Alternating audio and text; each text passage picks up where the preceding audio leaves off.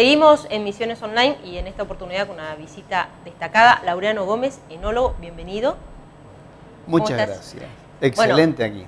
Bueno, después de una noche muy importante porque anoche se hizo la degustación anual de Todo Frío, bueno, esta bodega tan importante en, nuestra provincia y bueno, la posibilidad también de interactuar, interactuar con el público, ¿no? contanos tu experiencia, bueno, es eh, de tu nueva visita aquí en la Tierra Colorada. Mi nueva visita, gracias a todo frío, es... Eh, yo estoy en una nueva etapa de mi vida, después de trabajar un poquito más de 20 años en bodegas lindas, renombradas de Argentina, internacionales, tengo mi, emprendimiento en Mendoza con mi familia. Ya tenemos, como yo digo, ocho cosechas ya tenemos en, el, en el haber. Y he decidido algo desde que empecé y es trabajar con buena gente. Entonces eh, lo pongo como prioritario por sobre los negocios, por sobre la rentabilidad. Eh, es un poco el precio que, yo pago y, decir eh, el hecho de trabajar con el equipo de todo frío ha sido una coincidencia, una suerte. Entonces yo lo que, conclusión de anoche, y la gente tiene que aprovechar lo que está ofreciendo todo frío Anoche no sé cuántas eran, 15, 20 bodegas, cada una con 3, 4, 5, 7 vinos. Esa muestra que nutre a la gente para que la gente entienda que ya no, como hablamos antes, que tomamos blanco y tinto, como decíamos. No, ahora decime blanco y blanco tenés un espectro amplísimo, desde los más jóvenes, frutados, frescos, para tomar solo en lugar de, cualquier otra bebida refrescante, o hasta los vinos blancos encorpados para acompañar un asado cuando a la gente no le gusta el vino tinto. Entonces es tan amplio los orígenes, las bodegas, los estilos, las regiones. Entonces disfruten de esa oferta, aprovechenla. Y eso es lo que les va a llevar, me parece, a disfrutar que la gente que le preste un poquito de atención va a empezar a incorporar y, de qué se trata la degustación sencillamente y resumimos en el me gusta o no me gusta un vino, o este me gusta más que el otro. Creo que hoy día es difícil que encuentren un vino malo. Hoy día un vino es más o menos rico que el otro, pero son todos buenos vinos, las bodegas, y yo creo que es un ida y vuelta, ¿no? Y el consumidor, en la medida que Digo un ida y vuelta, ¿por qué? Porque las bodegas ofrecen degustaciones. Las empresas que hoy día son el nexo con la bodega y el consumidor, como todo frío, ofrece estas degustaciones, la gente se va nutriendo y cree que no sabe. La gente lo que tiene es que no lo expresa con términos enológicos, como es mi, profesión. Pero la gente dice, che, este es más picantito. Y a veces este más seco. más seco, este me este deja la boca, este todos esos descriptores que la gente por ahí tenemos que traducirlos en, términos enológicos, pero eso es mi trabajo, eso es para dentro de la bodega. Para afuera, y, cuando la gente dice, quiere un vino dulce, ¿y qué es lo que es un vino dulce? Entonces cuando yo le digo, no hago vinos dulces porque no me gusta agregarle azúcar al vino, el azúcar se utilizó en los años 70, 80, porque la calidad de la uva no era la mejor.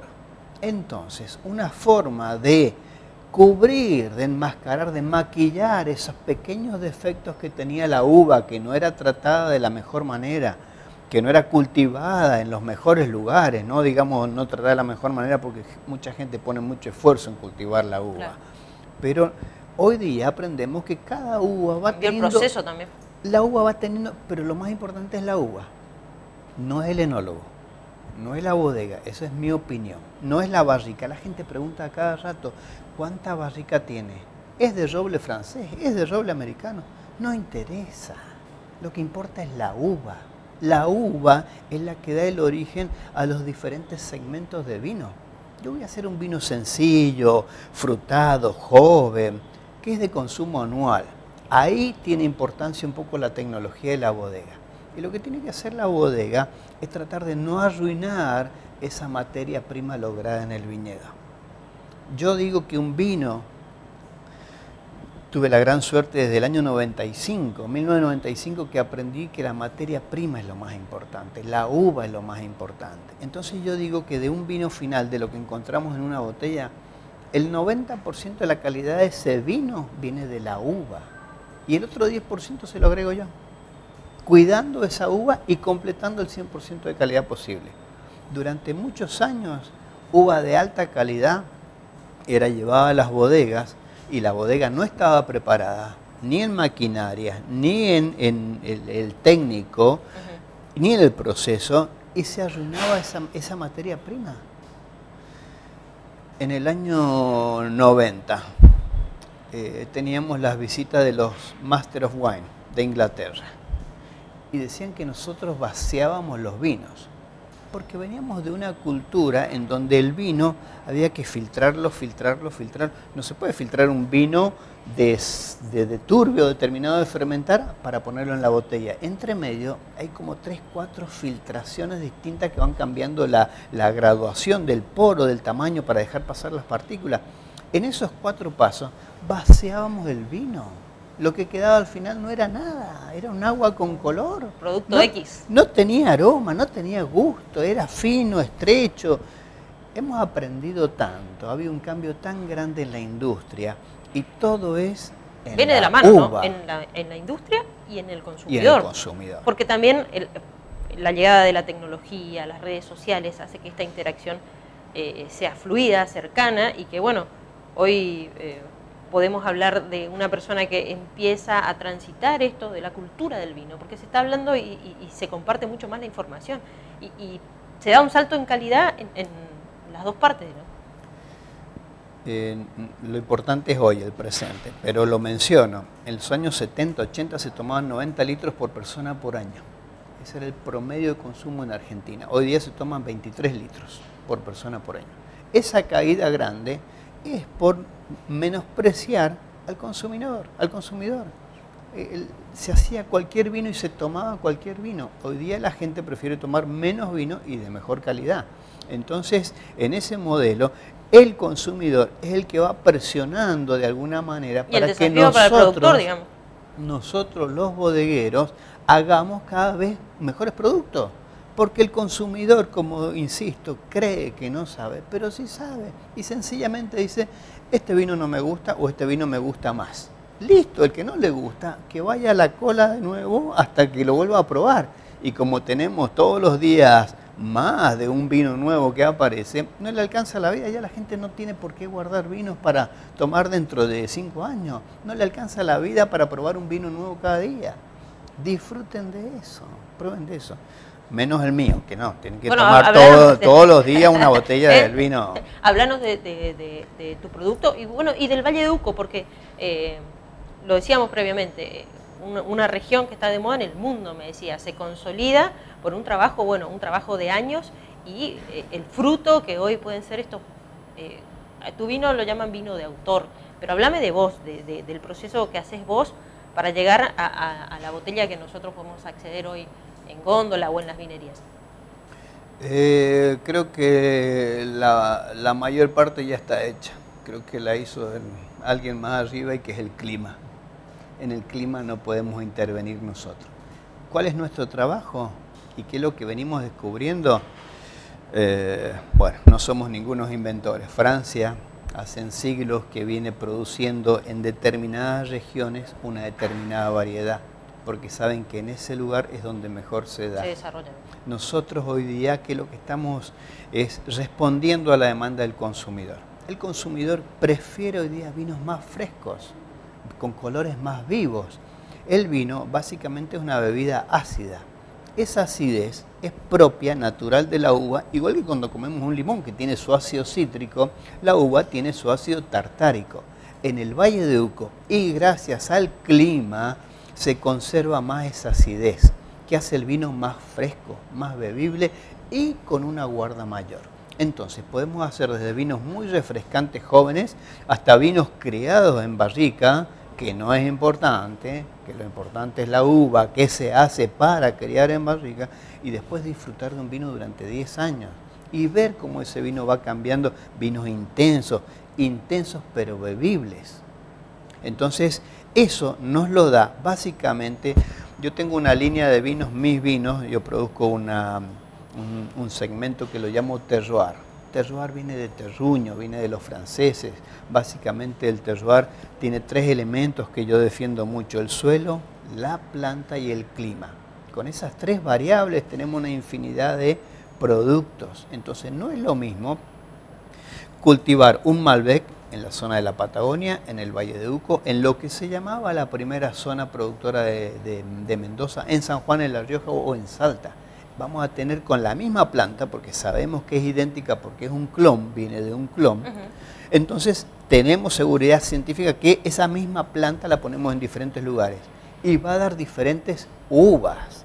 Y las diferentes uvas, aún con el proceso en la bodega, lo que va a, a dominar es la uva, es el carácter que obtuvo la uva ese es el sello, ¿no? vino vino salteño, tiene algunas cuestiones similares, pero la característica pura que le da el clima. Es propia el clima. El clima es el que marca la uva. Lo más importante en la uva, para que la gente tenga un, plus, digamos, eh, y que entienda el concepto, eh, el vino se hace con el jugo de la uva pero lo más importante no es el jugo de la uva, el jugo que está en el grano que llamamos pulpa. Lo más importante está en la piel, en la cáscara, que le llamamos ollejo. En segundo lugar, lo más importante está en la semilla, los taninos. Cuando el clima es, eh, tiene un sol importante, un sol fuerte, un sol que realmente excede un poquitito, ahí empieza nuestro trabajo, cómo manejar el viñedo para que ese sol no impacte tanto. Una de las formas entonces es yendo a zonas un poco más frescas de cultivo y de esa manera en la piel del grano, que es donde está el color, los aromas, parte de la acidez, sean protegidos. El sol quema, como nos quema a nosotros la piel, exactamente lo mismo le pasa a la uva. Y si entendemos que lo más importante está en la piel y el sol la quemó, destruyó todo. No nos queda nada. Y esto se da en, geografías más altas, más bajas, depende de la región, la zona y la geografía, digamos. Y depende de la variedad. Las variedades, ¿y qué es lo que es? El Pinot Noir es una variedad, el Malbec es otra variedad, el Cabernet Sauvignon es otra variedad, Syrah es otra variedad, Sauvignon Blanc dentro de las blancas, el Chardonnay es otra variedad cada variedad tiene un ciclo de vida, un ciclo de madurez. ¿Qué quiere decir? La mayoría de las plantas comienzan su ciclo, porque en el invierno se caen las hojas, es una planta eh, perenne, pero que en el invierno caen sus hojas y comienza de nuevo en la primavera a brotar. Todas las variedades comienzan más o menos juntas en el mes de, a fines de septiembre, pero algunas maduran en febrero, otras en marzo, otras en abril. Y de ahí viene la definición, el criterio de que unas variedades son más tempranas, otras son de ciclo medio, otras son de ciclo largo. Si nosotros ponemos una planta de ciclo largo en un lugar muy alto, muy frío, no va a madurar. Entonces tenemos, ese es lo que nosotros estamos entendiendo ahora, qué vino queremos hacer, qué segmento, qué estilo. De acuerdo a eso, vamos a decir la variedad, y de acuerdo a eso es donde la vamos a ubicar y el clima es el que maneja en gran medida esta situación. ¿Se entiende? Sí, y bueno, muy interesante, podríamos estar horas, pero quiero cerrar con esto, ¿no? Eh, gracias por instruirnos y por ah, eh, compartir tu conocimiento y por otro lado, hablarle a la persona que hoy se encuentra con una botella de Laureano Gómez, qué va a encontrar, cuál es la experiencia y cómo seguir, porque esto es algo que avanza avanza. Es dinámico. se va transformando. Bueno, y hay que también tener algunas ayuditas, unos tips. Unos tips, unos tips. Eh, yo los invito, como ocurrió anoche con una gran concurrencia en la Feria de Todo Frío, a que abran la cabeza y prueben otras variedades. Entonces, Argentina es famosa por el Malbec. Y toda la gente pide Malbec. Y yo creo que está muy bien que aprenda que crezca la cantidad de eh, variables que hay de Malbec. Pero yo soy un poco reconocido eh, porque me he esforzado en aprender y, y encontrar el lugar correcto para producir dos variedades muy interesantes, Pinot Noir y Merlot. Anoche me pedían Malbec y yo les servía Merlot. Me pedían Malbec y les servía Pinot Noir. Y me decían, qué rico, y es distinto aprovechenlo, es distinto. Entonces yo tengo un segmento eh, más sencillo, eh, sencillo, que no es, no es tan sencillo, pero que le llamo terroir, como explicaba recién, porque creo que refleja muy bien la zona del Valle de Uco, en donde tengo un Malbec y un Merlot. Pasamos a un segmento que llamamos reserva, y la gente me dice, ¿qué es lo que es reserva? Reserva es el vino que pasó un año en la bodega, en barricas de roble, en piletas de cemento, en tanques de acero inoxidable, en botella. Eso es reserva. Cuando el vino cumplió un año y recién deja la bodega, eso es reserva. Gran reserva es cuando cumplió dos años en la bodega, independiente en qué continente haya estado. Esa es la definición legal de reserva y gran reserva. Entonces yo tengo mi línea terroir, mi línea reserva y mi línea gran reserva, en donde la gran reserva depende muchísimo de la añada. Únicamente cuando tengo una excelente añada que la uva, otro, otro tema importantísimo, el, el, día de cosecha. Cuando yo decido el día de cosecha, me encanta. Yo aprendí, como decía recién en el año 95, a definir el estilo de vino probando la uva. Yo ya no mido más el azúcar como se hacía antes. ¿Cuánto azúcar tiene? ¿Cosecho o no cosecho? No, ya es historia. Hoy día voy y pruebo la uva. Hoy día desde el año 95. Hoy día es, normal, todo el mundo prueba la uva. En el año 95 no era tan normal salir a probar la uva y ver si la uva estaba lista. Igual que cualquier fruta. No sé qué fruta hay acá tan típica eh, no sé, una, banana. Una banana tiene otro aroma cuando está la cáscara amarilla y tiene otro aroma cuando está la, cáscara verde. Tiene otro gusto, tiene otra astringencia.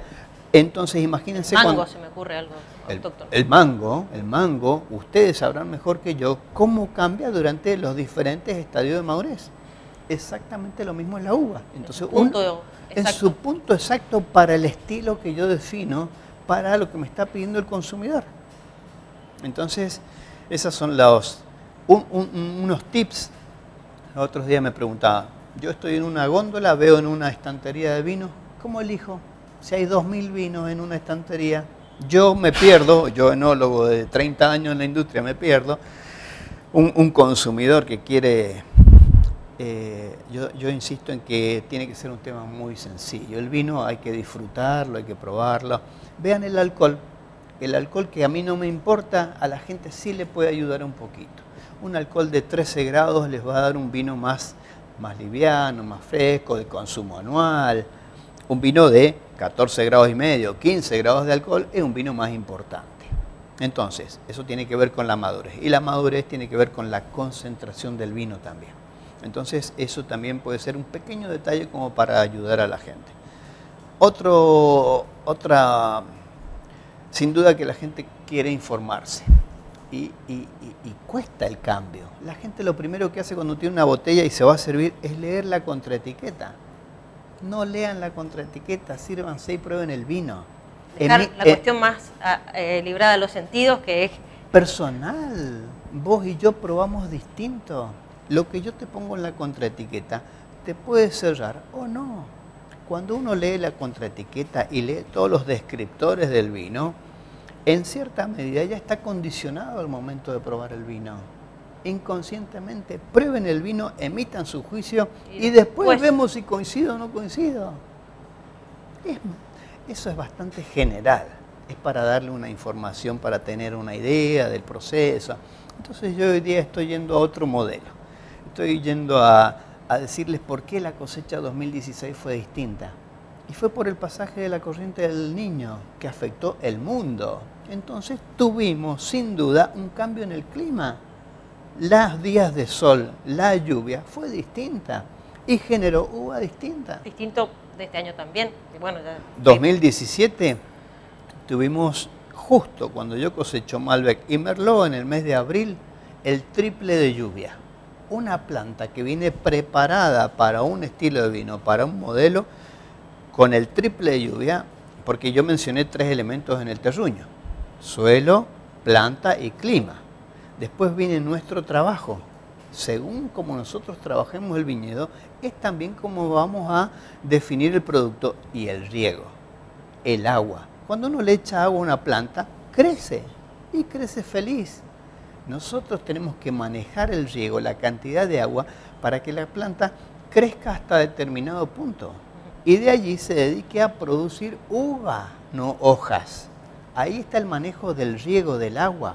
Entonces cuando llueve y no podemos controlarla, nos, se nos escapa de la mano el manejo de esa uva que teníamos de predestinada para ese estilo de vino. Entonces, eso es lo que yo quiero transmitir a la gente. El año 16 fue diferente. No es ni peor ni mejor, es diferente. Distinto. Bueno, Laureano, gracias y bienvenido. Estás a tu casa cuando quieras. Este, y seguramente, bueno, para seguir contando todo lo que, lo que forma parte de tu trabajo y de la cultura del vino. Gracias a ustedes y disfruten el vino en forma sencilla, no hay que complicarlo. Y fresco, y fresco, acá en Misiones fresco, los tintos, Fresco. por favor. ¿Con hielo o sin hielo? Con lo que quieran, pero tomen vino. y fresco. Gracias. Gracias.